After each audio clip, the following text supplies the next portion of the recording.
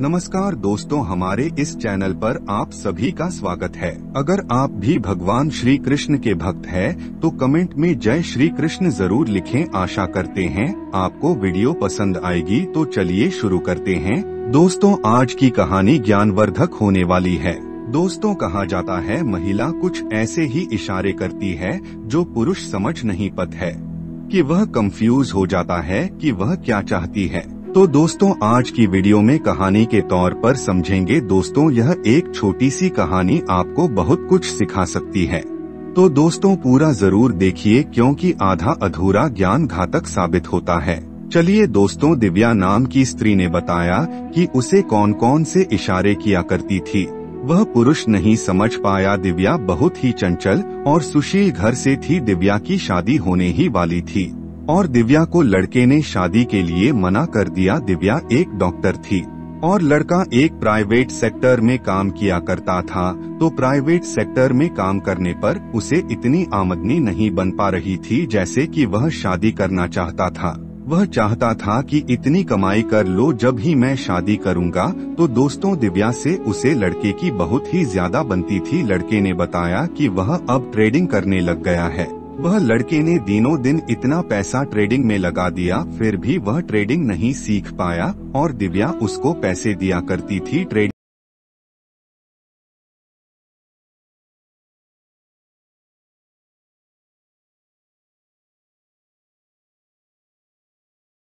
जाए, मगर उससे ही मैं शादी करूँगी। लड़के ने धीरे धीरे ट्रेडिंग से पैसे कमाना चालू हो गया था। वह लड़का धीरे धीरे अमीर होने लगा, वह इतना अमीर होने लगा कि एक टाइम पर उसने तीन तीन गाड़ियाँ खरीद ली थी, और दिव्या उसे समझा रही थी कि अब तो सुनो मेरी बात की, अब तो तुम मुझसे शादी कर सकते हो, अब तो तुम्हारे पास इतना पैसा भी आ गया है।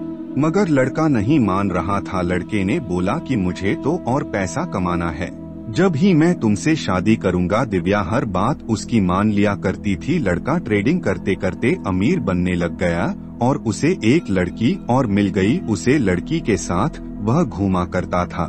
एक दिन दिव्या ने उसे लड़के को उसे लड़की के साथ देख लिया। दिव्या बहुत ही ज़्यादा नाराज़ होने लगी। उस लड़के को बहुत ही समझाया कि तुम्हारे लिए मैंने इतने साल बिता दिए और तुमने मुझे यही दिखाई दिया कि जब तुम्हारे पास पैसे नहीं थे जब मैं मदद की तुम्हारी और तुम्हारे पास आज पैसे हैं तो तुमने एक और नई लड़की ढूंढ ली और मैं तुम्हारे लिए बैठी थी।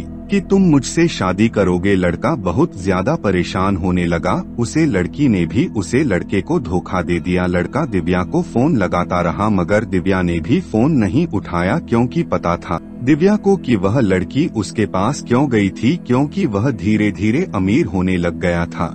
लड़के ने बहुत ही माफ़ी मांगी थी जब जाकर दिव्या ने उसे माफ़ी दी। दिव्या ने समझाया कि एक टाइम तुम्हारे पास पैसा नहीं था तो तुम्हारे पास कोई भी लड़की नहीं थी और धीरे धीरे कर तुमने पैसे कमाना स्टार्ट किया। जैसे जैसे तुम्हारे पास एक और नई लड़की आने लग गई, वह उसे देखकर तुम मुझे भूलने भी लग गए थे। लड़का बहुत ज़्यादा रोने लगा, उसने माफ़ी भी मांगी, अब मुझे माफ़ कर दो, अब मैं तुमसे ही शादी करूँगा। लड़की ने बोला कि यह बात मैं पहले भी बोलती थी तुम्हें, मगर तुमने मुझे समझ ही नहीं था। एक टाइम पर तुम्हारे पास पैसे नहीं हुआ करते थे, जब भी मैं तुम्हारी मदद किया करती थी, जब भी तुम नहीं समझते थे।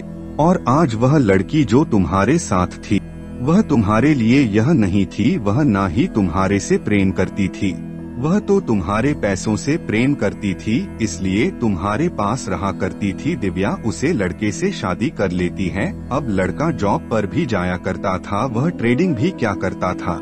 और दोनों साथ में रहा करते थे। तो दोस्तों, यह वह बातें हैं, जो पुरुष कभी नहीं समझ पाए कि स्त्री उसे कब साथ देती है और कब नहीं साथ देती है। एक टाइम पर जब उसके पास पैसा भी नहीं था, जब भी दिव्या ने उसका साथ दिया था, मगर वह पुरुष कब जाकर समझने लगा, जब दिव्या ने उसको बताया, दिव्या ने यह भी बोला था कि तुम्हें मैंने यह भी बोला था। कि तुम यह ट्रेडिंग छोड़ दो और जॉब पर जाया करो। कम पैसे ही क्यों ना हो? मैं तुमसे ही प्यार करती हूँ, ना कि तुम्हारे पैसों से। तो लड़का नहीं माना लड़का दिनों दिन ज़्यादा ट्रेडिंग करने लग गया था और उसकी ऐसी लत लग गई थी कि ट्रेडिंग करते करते वह यह सोचता था कि अब मेरे पास पहले जैसे पैसे क्यों नहीं आ रहे हैं? मगर वह ट्रेडिंग को सही से जाना ही नहीं, वह तो पैसों के पीछे ही पड़ गया था। धीरे धीरे करके उसने सारा पैसा डूबना स्टार्ट कर दिया, और इतना ज़्यादा पैसा खर्च करता था। उसकी आमदनी भी नहीं बच पा रही थी घर पर,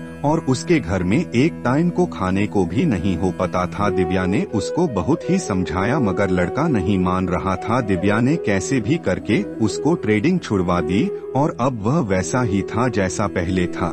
जब उसके पास पैसा भी नहीं हुए करते थे। एक टाइम पर वैसे ही हालत उसके हो गए, मगर दिव्या उसके साथ जब भी खड़ी रहे, उसको जब समझ में आया कि यह एक टाइम पर जब भी मेरे साथ थी और आज भी मेरे साथ है। तो इससे बढ़कर और कुछ भी नहीं है, अब मैं पहले की तरह ही जॉब करूँगा और जितना पैसा होगा उसी में ही गुजरा करूँगा। तो दोस्तों, इस बात से आपको बहुत कुछ सीखने को मिला होगा और हमारे टेलीग्राम चैनल से आप जुड़ सकते हैं। दोस्तों डिस्क्रिप्शन में लिंक है। अभी जाएँ और ज्वाइन हो जाएँ। दोस्तों, आज की वीडियो बहुत ही ज़्यादा ज्ञानवर्धक और शिक्षा प्रदक है।